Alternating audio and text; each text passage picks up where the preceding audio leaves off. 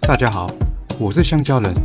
最近把我的华硕 X 二九九黑苹果机型改为二零一九 Mac Pro，真的让我吃尽苦头。常常是让我剪片剪到一半会断电自动重新开机，真的快让我抓狂了。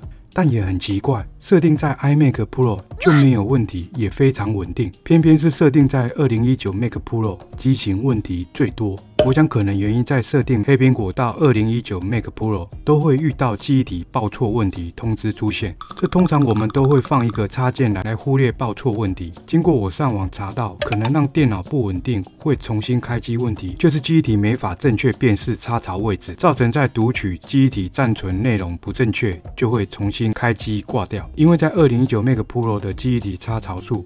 总共有十二支，而我们一般在安装黑苹果主机板，大约是四支插槽可用。高阶等级 X 二九九主机板最大是能插到八支记忆体。我还很天真想，如果把我手上多余的记忆体全部插好插满，搞不好就可以克服这记忆体报错问题出现。但结果和我想的完全不一样，开机一样报错，白忙一场。完全没有捷径偷懒方法可走，所以我今天来教大家如何修正好这记忆体报错问题，把每一只记忆体制定到自己该去的位置上面。那我们开始吧，Go！